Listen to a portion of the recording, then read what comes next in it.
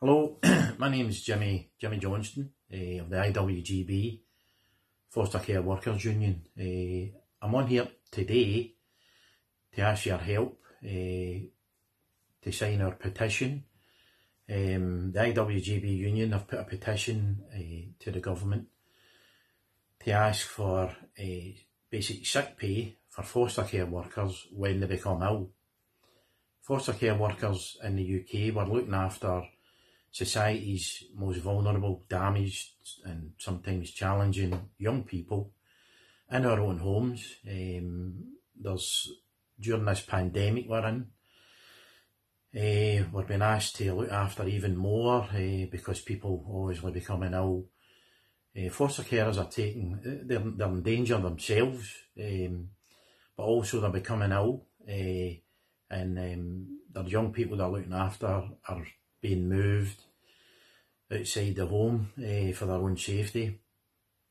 Uh, in this situation, foster carers get paid get paid a fee uh, to look after our young people. I could argue it's less than the minimum hourly rate, but that's another argument.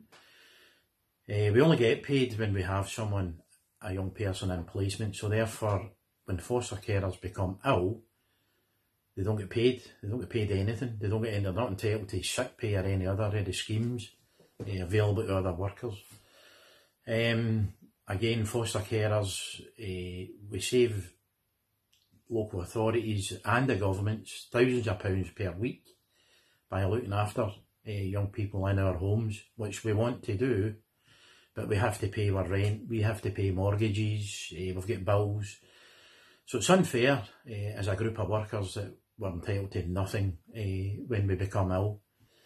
Uh, I would ask you um, to help us by signing this petition put forward by our union, especially uh, in this situation we're in, stress and anxiety that foster carers, especially when I don't get any money. Um, also, it helps us to pay for our, keep a roof over our head for our young people when things clear up and they return back to their placement. Thanks very much for listening.